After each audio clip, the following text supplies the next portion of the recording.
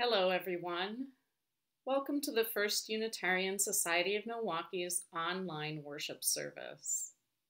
I'm Reverend Dina McFeeters, and I'm honored to serve as Associate Minister. We welcome people of all genders, sexualities, ages, races, ethnicities, histories, and bodies. We welcome your mind, your heart, and your spirit.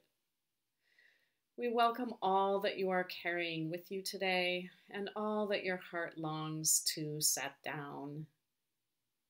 We'd like to pay a special welcome to guests joining us today. If you're visiting for the first time or joining us from afar, why don't you say hello in the chat and tell us where you're joining us from?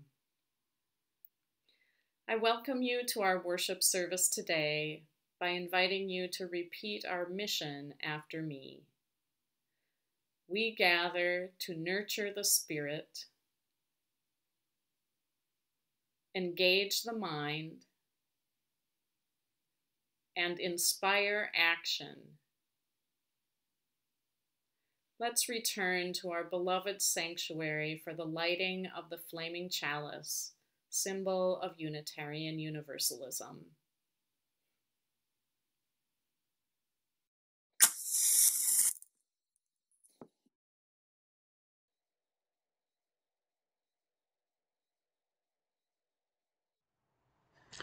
Hello, my name is Patrick Mulvey, and I'm honored to be your worship associate today. I'm fortunate to teach at a school that I love. Between my field placement, volunteering, enrolling my own children there, and teaching, it's been 25 years and counting. This school is more than a school to me, it's a community. That's not to say the work is always easy. Among the many other duties as required parts of the teaching is tracking down and prevention of bathroom stall graffiti. Not my favorite part of the job, but one time it got personal. The other teachers and I had narrowed down the possible culprit to the seventh and eighth grade boys cohort just by the time frame in which the graffiti was appearing. It was mostly garden variety stuff, swear words, crude stick figures, the usual. But then one day, whoever was doing it wrote something offensive about my son and my daughter's bodies. And keep in mind, my son and daughter were students at the school, a good bit younger than the seventh or eighth graders. This was clearly directed at me, not my children, but still, it needed to stop. I asked the seventh and eighth grade teachers if I could address the boys in the unit the following day. When the time came, I headed down there, not knowing what I was going to say. I think I'd imagined some version of dropping the hammer. I was angry, and sometimes the smart play is to let that anger show. Sometimes it isn't. When I sat down in the circle, that's how we did things there. Circles were a, a, customary format for talking about problems and sharing solutions. All of my anger dissipated. Looking at these young men, each, every, each, uh, every, each and every one of which I had taught and cared for in fifth and sixth grade, I didn't see enemies or vandals. I saw kiddos that I loved and cared about, and whom I had told repeatedly when I was their teacher that I loved them and I'd always be there for them and I had meant it. So that's what I did.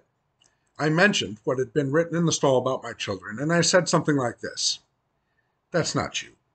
I know each and every one of you, and you're not the kind of guys who would lash out at little kids like that. I'm guessing that I did something that made one of you angry or hurt your feelings. I don't know what it could have been or what I could have said, but you know me, and you know I'd never want to hurt you. And if I did, I'm sorry. I only ever want the best for you, and you know that. Up to this point, I think I was essentially guilt tripping whoever was doing the graffiti. What I said next wasn't planned, inspiration just struck. I said, I'm not here to get you in trouble. I'm here to help you out of trouble. You don't want to be that guy, and I don't want you to be that guy either. You know where I am, and you can come talk to me anytime. If I did you wrong, I hope I can make it right. If you need some help, I hope I can give it.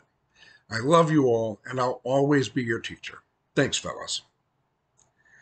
They applauded. I hadn't seen that coming.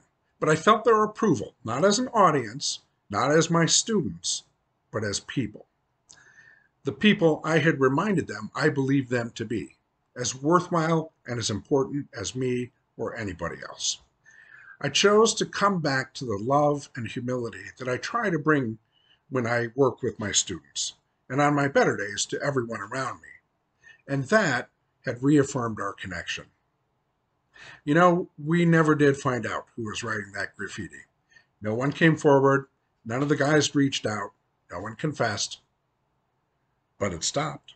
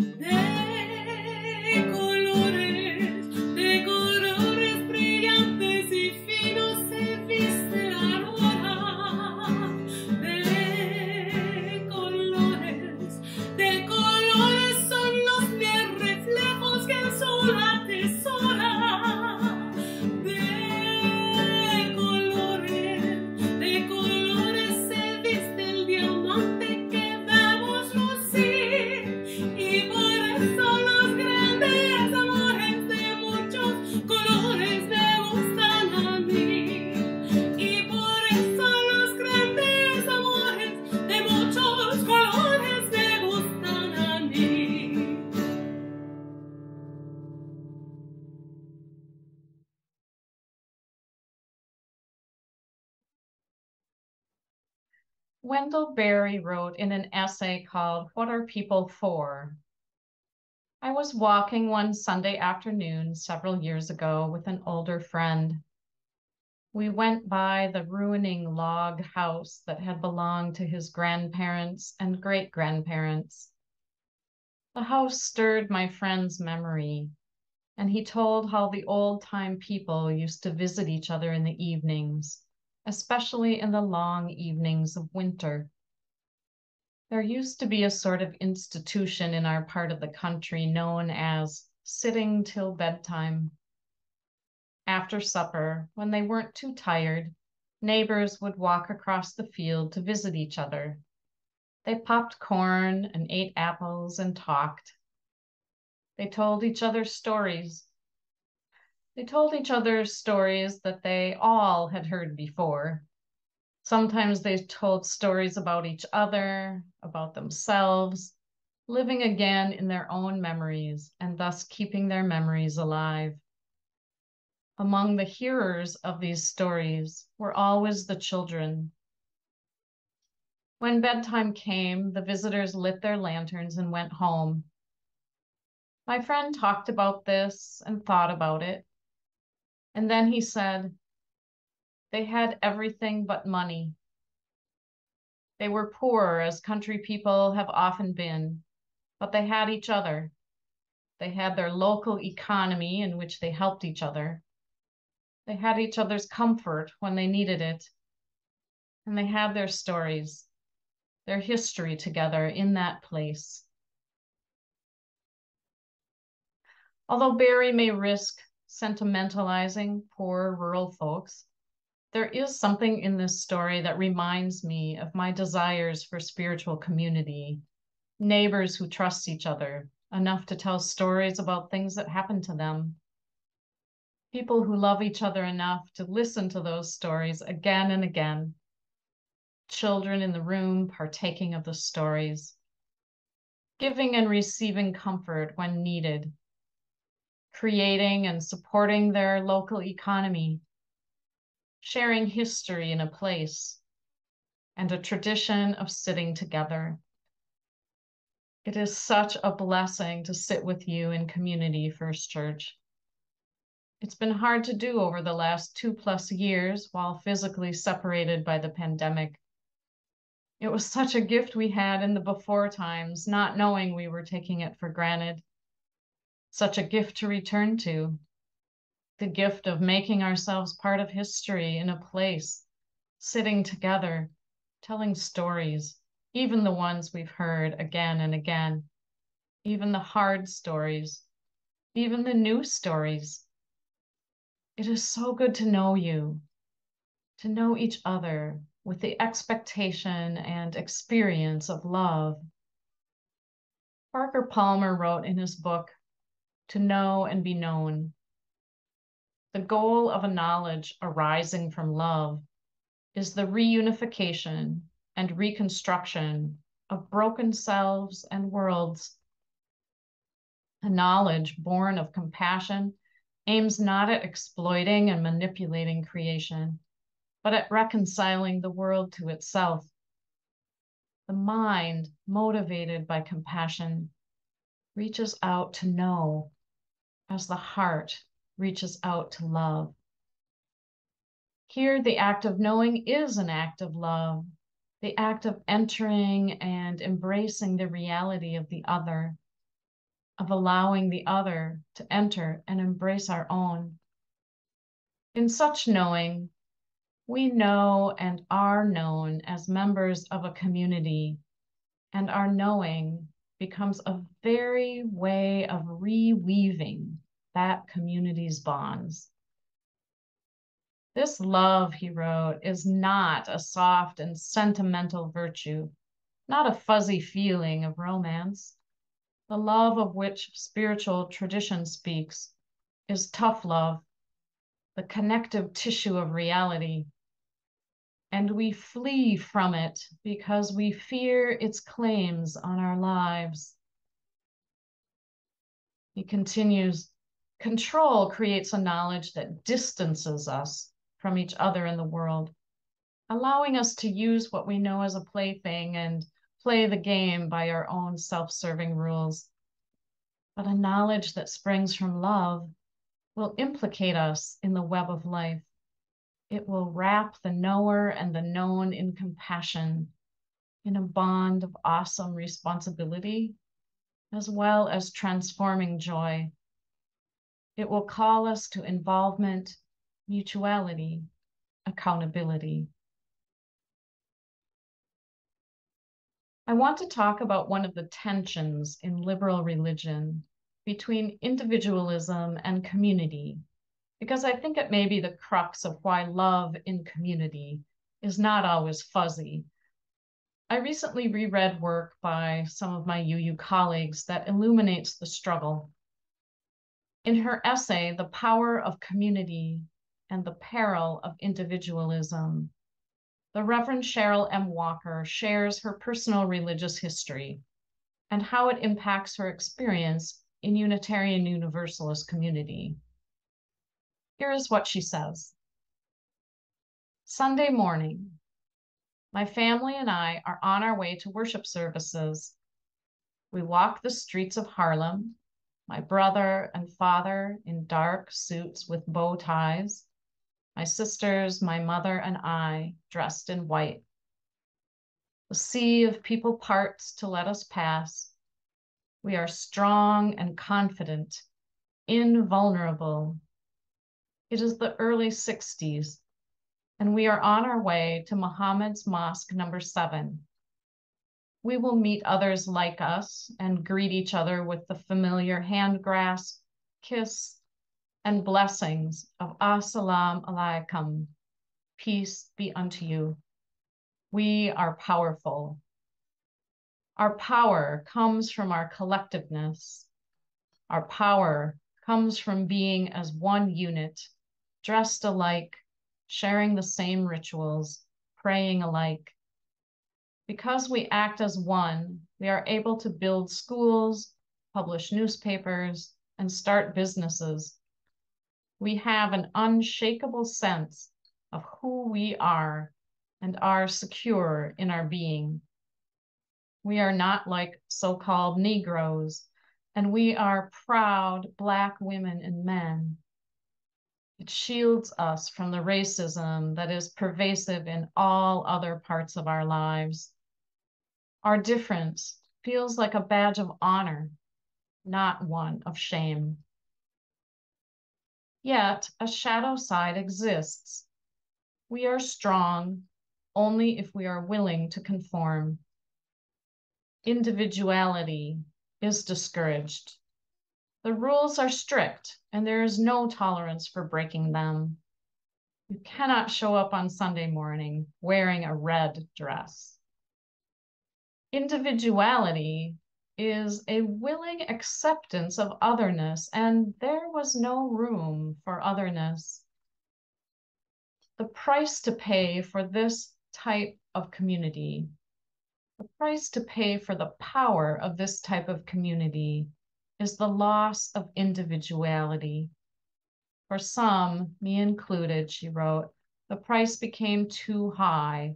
And so in my teenage years, I made the choice to separate from the community, not from the faith, but from the community, for I still loved many things about the faith of my childhood. I kept my faith, but lost my religion because religion is always communal. You cannot be religious all by your lonesome. You can be spiritual, but not religious. Religion is always communal, whereas being spiritual is an individual expression of faith. We create religion to find ways to express our spirituality in community. Hmm. After many years of wandering in the wilderness, Walker attended worship at a UU church on the invitation of a friend. There, she said, I fell in love with being an individual in a faith community. You mean I don't have to believe what I don't believe, and that's okay?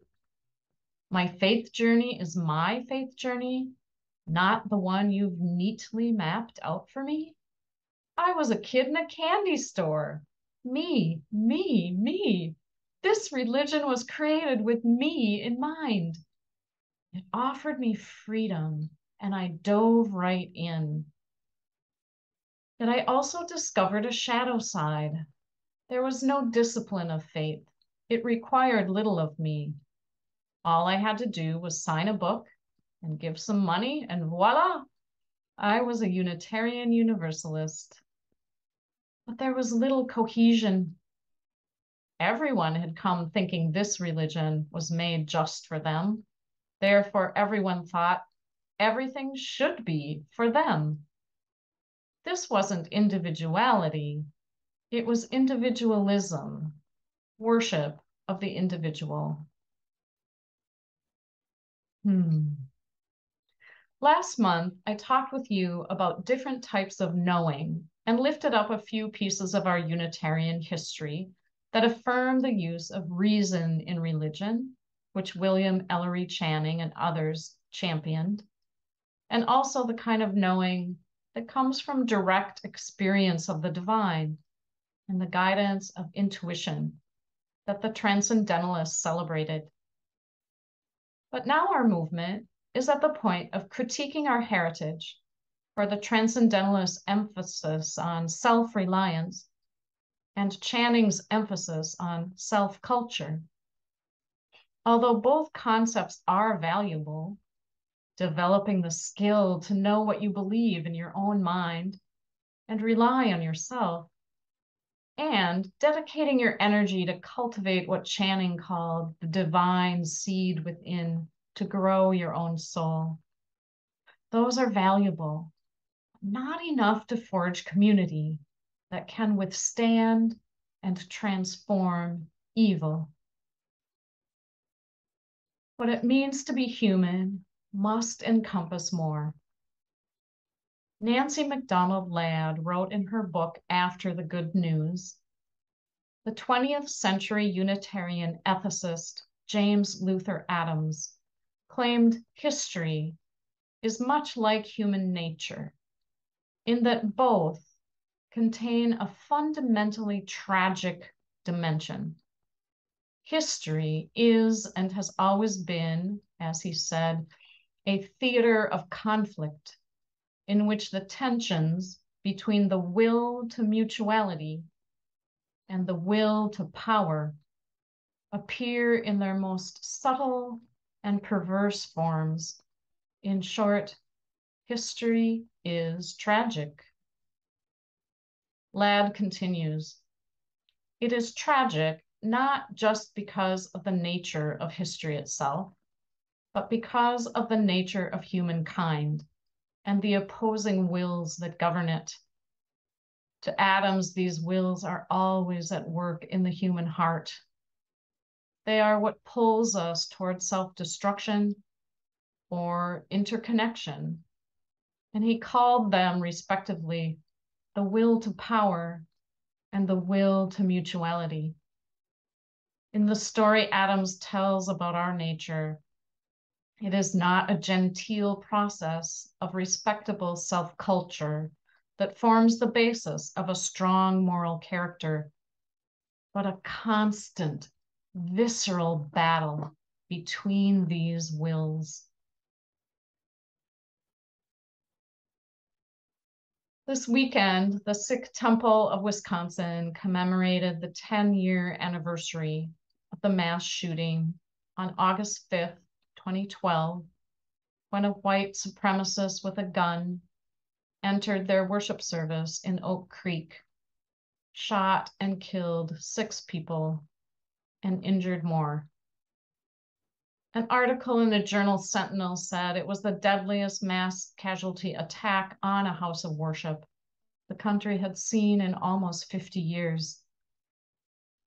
Since then, in the spirit of Chardi Kala, the Oak Creek Sangat community has worked to heal and demonstrate unwavering courage, strength, and resilience in response. Pardeep Singh Kaleka, Executive Director for the Interfaith Conference of Greater Milwaukee, who has spoken here, defined Chardi Kala as relentless optimism. To many, it may sound naive, but in the spirit of how it's quoted, it's a defying courage, he said. We shall be relentlessly optimistic and continuing to build a world where all people are loved and nurtured. Hmm. Theologian Carter Heyward said, Love is a choice, not simply or necessarily a rational choice, but rather a willingness to be present to others without pretense or guile. Love is a conversion to humanity, a willingness to participate with others in the healing of a broken world and broken lives. Let's return to the Reverend Cheryl Walker's story. Walker wrote, I love the promise of this faith. But when I, as a person of color, look at us, I wonder. In some ways, I find in UUism the same conformity I found intolerable in my childhood faith in the Nation of Islam. The only difference is that this conformity is more dangerous for me because this conformity asks that I make the dominant white culture my culture. From the music we sing to the styles in which we worship, to the way we look at time, the dominant culture prevails.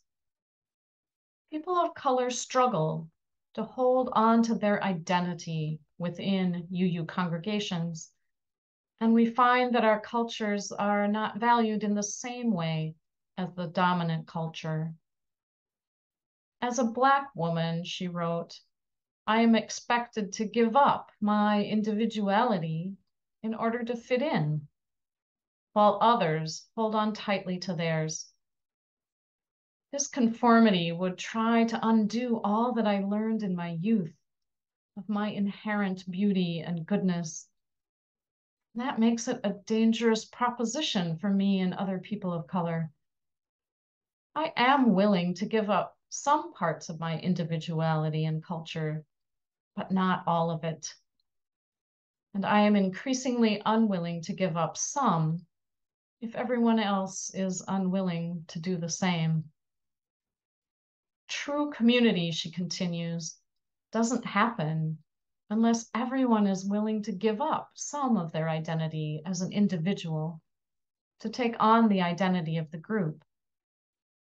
If this doesn't happen, then we are merely a group of individuals sharing common space, but not becoming a community. It doesn't mean that we go to the extremes of everyone wearing the same clothing, everyone praying the same way, if at all, or everyone believing the same things. If we were to do that, we would give up what makes us unique on the religious landscape. However, it does mean that we move individualism from the center of our focus and replace it with a new concept of shared community in which everyone gives up a little so that we can gain a lot. In true community, we gain a lot, she concludes.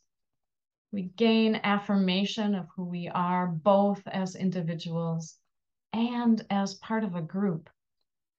We gain the wisdom of others who may have ideas different from our own, so that together we may create a greater vision of a future that we can work toward making real. Hmm. Friends, love in community is not sentimental it's not a Hallmark card kind of love. Sometimes it's hard work. In community, we don't always get to tell our own story because it is more important to listen to another person. Sometimes we disagree and conflict with one another. Sometimes we have to set aside what we want as an individual to support the good of the community. Sometimes we must temper our will to power so we can choose the will to mutuality.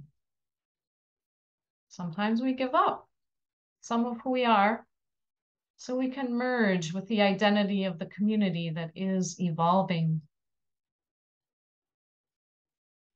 I'll end by telling you a story from Terry Tempest Williams. She wrote about a trip she took with a friend to Spain. She wrote, We found ourselves in the Doñana National Park, one of the last remaining wetlands in Europe.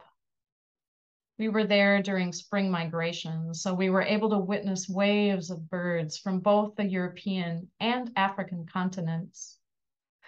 The wetlands happened to be on the edge of a beautiful town called El Rocío, we went on a Sunday morning to see the flamingos and the spoonbills. On the edge of the marsh is a beautiful whitewashed adobe santuario. An old woman handed each person there a large candle. She said, Light this candle with your desire in mind. Let your desire pierce your heart and take it home with you. The people lighted their candles with their desires in mind and then moved to an alcove to put their candle onto a huge iron rack. In this white tiled room with a statue of the Mother of Dew, each person stood next to their candle and tended to their desire, watching while the wax melted. When the wax had melted sufficiently to make a ball of it, each person took the wax home as a talisman the room was searing. There had to be hundreds, even thousands of candles, all burning at the same time, with people attending to their individual desires. It was wonderful. My friend said to me, My desire is melting into everyone else's. And that was precisely the point when you're in that collective space, there is no way your desire won't merge with everyone else's desire. They are the desires of our highest selves. Hmm. First Church community, as we enter a process of talking and listening in joyful focus groups this month, let us bring our individuality but not our individualism. Let us bring our individual candles of desire and watch for the melting wax, the merging of desires for the future of our loved and loving religious community. Let us not flee from the connective tissue of reality. Let us not fear its claims on our lives. Let us open ourselves to love's claim. May what we learn wrap us in compassion, in a bond of awesome responsibility, as well as transforming joy. May it be so.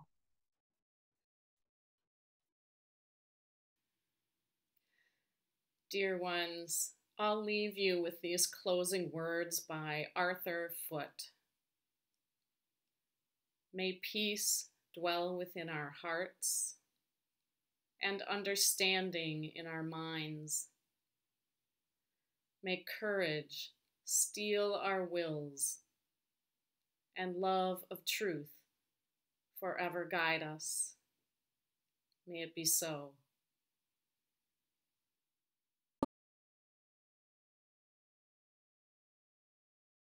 We are going, heaven knows where we are going. We know within, and we will get there. Heaven knows how we will get there, but we know. Whoa, yeah, yeah. Whoa, yeah, yeah.